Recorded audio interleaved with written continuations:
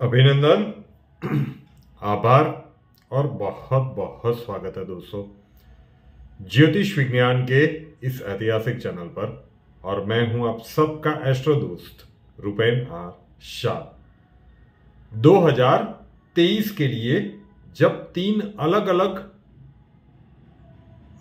क्षेत्रों को ध्यान में रख के एनुअल प्रिडिक्शंस बनाई गई तो कई सारे लोगों के मन में बहुत सारे प्रश्न उठे थे। कि लग्न के हिसाब से तो दे दी, फिर राशि के हिसाब से क्यों? क्योंकि आप तो लग्न के हिसाब से ही देते हो। चलो, राशि के हिसाब से दे दिया, फिर न्यूमरोलॉजी के हिसाब से क्यों? अब जो अदानी ग्रुप के साथ ये इंसिडेंट हुआ है हिंडनबर्ग का जो रिपोर्ट आया है और जो मार्केट में क्रैश देखा गया है, आज इस वीडियो में विस्तार से चर्चा करेंगे। आज दोपहर में ही एक वीडियो डाला गया। जिसमें मूलांक छ वालों के लिए मतलब जिनका भी जन्म तारीख किसी भी महीने में छ पंद्रह या चौबीस है उनके लिए ये 2023 कैसा रहा, रहा रहेगा? उसकी एक वीडियो की क्लिप दिखाई गई थी कि टफ है। तो मूलांक के आधार पर 4 जनवरी का ही वो वीडियो है। आज 27 जनवरी को कैरियर प्रोस्पेक्ट्स में किस प्रकार की बाधाएँ आ सकती है वो घटनाक्रम आप गौतम अदानी जी के साथ देख सकते हैं। क्योंकि उनकी जन्म तारीख भी 24 है। मतलब उनका मूलांक 6 है। अब, क्योंकि दोपहर में जब वीडियो डाला गया था और जो कुंडली मेरे पास आई थी, मैंने दोपहर के वीडियो में भी कहा था कि मुझे इतनी श्योरिटी नहीं लग रही है इस कुंडली के माध्यम से। तो मेरी पूरी टीम लगी हुई थी कि भाई प्रॉपर टाइम और उनकी जो पोजीशनिंग है, उसके हिसाब से वो मैच होना चाहिए। कई बार क्या होता है कि इंटरनेट से आप उठा लेते हैं, लेकिन कुंडली जो भी बनती है, वो देख के आपको एक अंदाज़ा तो आ जाता है ना कि ये कुंडली इस इंसान की हो, होगी या नहीं। अगर स्पेसिफिकली अगर वो गौतम अदानी के लेवल का कोई पर्सन हो तो वो कुंडली बहुत ही ज़्यादा स्ट्रांग होनी चाहिए। और फाइनली जो कुंडली हमारे पास आई है, अब दो 2023 में किस प्रकार की परिस्थितियाँ इनके लिए बनी रहेगी? मुलान के हिसाब से तो वो वीडियो में हमने दोपहर में ही दिखाया था कि मुलान छह वालों के लिए कैरियर प्रोस्पेक्ट्स में ये मामला टफ रह सकता है। राशि के हिसाब से देखें, क्योंकि इनकी कुंभ राशि है, वृषभ लग्न की कुंडली है, और तीसरे भाव में शुक्र राहु की युति है, भाग्य भाव में शनि केतु की युति है, शनि बकरी चल रहा है, जिसका ट्रांजिट अभी दशम भाव में हो गया। मतलब चंद्र गुरु का जो गज केसरी योग था, वहाँ पे शनि की एंट्री होना, शनि चंद्र का विष योग का प्रभाव जो एक्टिवेट हुआ है, उसके कारण ये परिस्थितियाँ विपरीत बनी है। तेरह नवंबर 2022 से ये इनके लिए विपरीत समय शुरू हो चुका था। जो राशि के हिसाब से देखें तो 12 मार्च 2023 तक चलेगा, लेकिन उसके बाद भी परिस्थितियाँ, जो लोग भी इन्वेस्ट करने वाले हैं या इन्वेस्ट किया हुआ है, अब क्या होगा? क्योंकि ये अदानी ग्रुप के ऑनर है। तो जो भी वीडियोस की भरमार चल रही है कि अदानी ग्रुप दिवालिया हो जाएगा, बहुत बड़ा स्कैम हो जाएगा, ये कुंडली ऐसा कुछ भी नहीं दिखा रही है। बहुत सारे ज्ञानी महात्माओं के कमेंट्स पढ़ने को मिले कि आप एस्ट्रोलॉजर कम और किसी औद्योगिक ग्रुप के सपोर्टर ज़्यादा दिखते हो। देखिए साहब, क्या है कि आपने अदानी ग्रुप में इन्वेस्ट किया हो या ना किया हो? वो दो नंबर की बात है। लेकिन बहुत सारी जनता ने इसमें इन्वेस्ट किया है और बहुत कुछ कमाया भी है। कईयों ने बहुत अच्छी तरह से कोविड के इस फ़ेज़ में भी कमाया है। कोविड के इस फ़ेज़ में अगर इनके शेयर्स इस हाइट तक पहुँचे हैं, कोई भी अगर किसी भी हाइट तक पहुँचता है तो उसी, उसकी मेहनत और बुद्धि को आप क्वेश्चन नहीं कर सकते क्योंकि आपने वहाँ पे नहीं पहुँच पाए।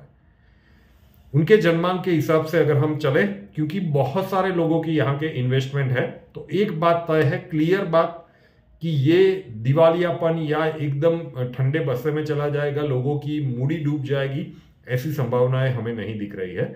लेकिन 2023 का साल अगर तीनों को मिला के देखें, मुलांक के हिसाब से गौतम अदानी जी के लिए ये टफ दिख रहा है। राशि के हिसाब से 13 नवंबर 2022 से जो समय शुरू हुआ, वो 12 मार्च 2023 तक चलेगा। लेकिन परिस्थितियाँ यहाँ पे भी खत्म नहीं हो रही है, क्योंकि उसके अगले ही दिन 13 मार्च 2023 को शुक्र का राशि परिवर्तन इनके बारहवें घर में हो जाएगा, जहाँ पे वृषभ लग्न में ऑलरेडी राहु चल रहा है। तो बारहवें घर में लग्नेश का जाना ठीक नहीं है। शुक्र, राहु की युति व्यय भाव में बनेगी और इनके जन्मांक में भी पराक्रम स्थान में शुक्र शुक्र राहु की युति है। तो ये समय भी इनके लिए नेगेटिव रहेगा, जो 13 मार्च से 6 अप्रैल। तो हम कह सकते हैं कि 13 नवंबर 2022 से जो समय शुरू हुआ है, वो 6 अप्रैल 2023 तक का समय इनके लिए ज़्यादा विपरीत रहने की पूर्ण संभावना है। उसके बाद 18 अगस्त 2023 से एक समय शुरू होगा। जो 17 अक्टूबर 2023 तारीखों को अच्छे से नोट कर लीजिएगा, जो भी आप स्टॉक मार्केट में वगैरह कर रहे हो, ये इनकी कुंडली के ऊपर से हम बता रहे हैं तीनों चीज़ों को सम्मिलित करके। न्यूमरोलॉजी का तो देख लिया, राशि और लग्न दोनों को सम्मिलित करके। और ये इतना डिटेल एनालिसिस इसलिए किया गया क्योंकि बहुत सारी लोगों की पूंजी इसमें लगी हुई है। तो आपको पता होना चाहिए कि अदानी ग्रुप के ऑनर की कुंडली 2023 के लिए क्या कहती है।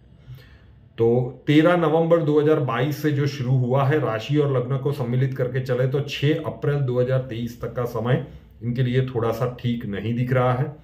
वृषभ लग्न की अगर आप डेट वाइज प्रिडिक्शन चेक करो तो 27 28 नेगेटिव बताई गई थी। आज 27 तारीख ही है जहाँ पे ये हुआ है। फेब्रुआरी महीने में दो तारीखें ऐसी है ये भी मैं बता देता हूँ। ओवरऑल 6 अप्रैल तक है। फेब्रुआरी का आ, जो वृषभ लग्न की अगर हम बात करें तो उनके स्पेसिफिक नेगेटिव डे है। हमें नहीं पता कि उसमें सैटरडे संडे आ रहे हैं या और कुछ है लेकिन 8 और 9 फेब्रुआरी और 10 फेब्रुआरी ये तीन दिन और उसके बाद 24, 25 और 26 फरवरी वृषभ लग्न के लिए मतलब गौतम अदानी जी की जो कुंडली है वृषभ लग्न की उसके लिए विशेष नेगेटिव है। वैसे ओवरऑल ये पीरियड इनका 6 अप्रैल 2023 तक चलेगा उसके बाद 18 अगस्त से वापिस इनके लिए परेशानियाँ शुरू होगी। ये उनके स्वास्थ्य के ऊपर कुछ इंपैक्ट हो, ये भी हो सकता है। उसके कारण उनका जो कॉन्सेंट्रेशन होना चाहिए महादेव करे स्वास्थ्य के ऊपर कोई संकट न ही हो, लेकिन 2023 इनके लिए प्रॉब्लमेटिक दिख रहा है क्योंकि तीनों जगह पे, मूलांक हो, चंद्र राशि हो या लग्न हो, इनके लिए परेशानियाँ थोड़ी सी ज़्यादा बनी हुई है। तो इन ड्यूरेशन 6 अप्रैल के बाद 17 अगस्त तक का समय इनके लिए अच्छा है। 18 अगस्त से 17 अक्टूबर मतलब आधा अगस्त, पूरा सितंबर और आधा अक्टूबर, ये इनके लिए वापिस थोड़ा सा एक प्रकार से अग्नि परीक्षा का समय हम कह सकते हैं बिज़नेस सेक्टर में। तो वहाँ पे उनके स्टॉक में अगर आप ट्रेडिंग कर रहे हो, आपको कहीं पे भी खरीद या बेच करनी है तो ये जन्मांक के हिसाब से तो हम कह सकते हैं कि ओनर की कुंडली ये कह रही है तो आपको किस हिसाब से चलना है, आप देख लीजिए, उससे पहले भी 6 अप्रैल तक आपको अच्छे से पता चल जाएगा कि जो हम कह रहे हैं, उन तारीखों में क्या चीज़ें घटित हो सकती है। उसके बाद आधा अक्टूबर अच्छा है, पूरा नवंबर इनके लिए अच्छा है और नवंबर के अंत भाग से मतलब 30 नवंबर से 24 दिसंबर मतलब दिसंबर का महीना इनके लिए वापिस, क्योंकि लग्नेश सिक्स हाउस में जाएँगे, शुक्र, लग्नेश जो होते हैं, वो इनके सिक्स हाउस में जाएँगे। तो ओवरऑल 2023 जो इनका ड्रीम रन गया है, ऐसा नहीं दिख रहा। तो हर किसी के जीवन में उतार चढ़ाव आते हैं। जो भी टॉप पे जाता है, कोई भी इंडस्ट्रियलिस्ट हो, कोई भी इंसान हो, वो जीवन में सिर्फ़ प्रगति ही करे, ये तो नहीं होता। लेकिन जो धारणाएँ अभिव्यक्त की जा रही है कि ये मतलब बलून ब्लास्ट होगा और ये बहुत बड़ा स्कैंडल आएगा, ये कुंडली ऐसा कुछ नहीं दिखा रही है। ये भारत के बहुत बड़े उद्योगपतियों में शुमार हैं और आगे भी रहेंगे। लेकिन 2023 का साल तीनों हिसाब से मूलांक के हिसाब से देखे, राशि के हिसाब से देखे और लग्न के हिसाब से देखे तो तारीखें मैंने आपको बता दी। अच्छे से वीडियो को एक दो बार सुन लीजिएगा कि ये तारीखें अदानी ग्रुप के ऑनर के लिए ठीक नहीं दिख रही है। तो इसका सीधा मतलब है कि कुछ विपरीत परिस्थितियाँ यहाँ पे बन सकती है। तो अदानी ग्रुप में इन्वेस्ट करके आपने जो भी कमाया है, आपको ये ना लगे कि आपकी कमाई हुई मूड़ी स्टक हो गई या फिर डूब गई। डूबने का तो कोई सवाल हमें नहीं लग रहा है कि इस कुंडली में कहीं पे भी है कि ये डिफॉल्टर हो जाएँगे। कुछ लोग जैसे इंडिया से भाग गए हैं, ऐसा कुछ होने वाला है। लेकिन 2023 यस पिछला जो इनका ड्रीम रन गया है कोविड या उससे पहले के समय से जो अभी चल रहा था, उसमें थोड़ी सी परेशानी आएगी। रिलीफ मिलेगा क्योंकि 30 अक्टूबर को राहु इनके इलेवेंथ हाउस में आ जाएँगे। हाउस ऑफ़ गेम्स में आ जाएँगे। उसके बाद के 18 महीने इनके दसम भाव में आ जाएँगे राहु। तो राहु जिसके दस में, दुनिया उसके बस में, ऐसी कहावत है, बहुत ही फेवरेट प्रचलित है। तो फ्यूचर इनका अच्छा है, लेकिन 2023 में ये जो समय अंतराल बताया ये इनके लिए थोड़ा सा ठीक नहीं दिख रहा है। तो आप अगर ट्रेडिंग वगैरह कर रहे हो लोएस्ट रेंज में ज़्यादा इसमें मतलब लॉन्ग टर्म इन्वेस्टमेंट करने की सोचे तो बॉटम प्राइस से आप खरीद सकते हैं अच्छा मुनाफा मिल सकता है। अदरवाइज़ डे टू डे या इंटरडे ट्रेडिंग करने के लिए गए तो इन डेट्स को याद रखिएगा। ये इनकी कुंडली कह रही है, गौतम अदानी जी की। इसका सीधा मतलब है कि अदानी ग्रुप के किसी भी, सभी शेयर्स के ऊपर हो, मुझे नहीं लगता, लेकिन कहीं ना कहीं इनको इम्पैक्ट आने वाला है। तो बस जब तक ये मेरे पास ऑथेंटिक माहिती नहीं थी, तब तक मैं कुछ भी बोल दूँ, ये ठीक नहीं था। अब जब जब मेरे पास है तो ये पूरा चिट्ठा है कि गौतम अदानी अदानी जी के लिए 2023 कैसा रहेगा और कौन सा समय अंतराल इनके लिए थोड़ा सा ठीक नहीं दिख रहा है।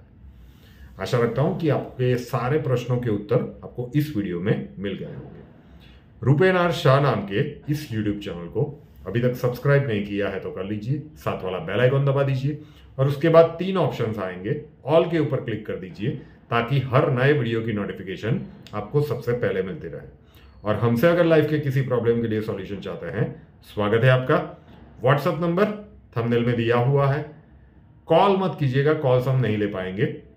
अपना नाम बर्थ डिटेल्स और प्रॉब्लम्स डिटेल्स के साथ WhatsApp number nine seven one four four four three one one zero nine seven one four four four three one one zero उसके ऊपर लिख दीजिए। अक्षय जी आपको वहाँ पे मिलेंगे। प्रोसीजर वहाँ पे समझा दिया जाएगा। नए वीडियो के साथ फिर मिलेंगे।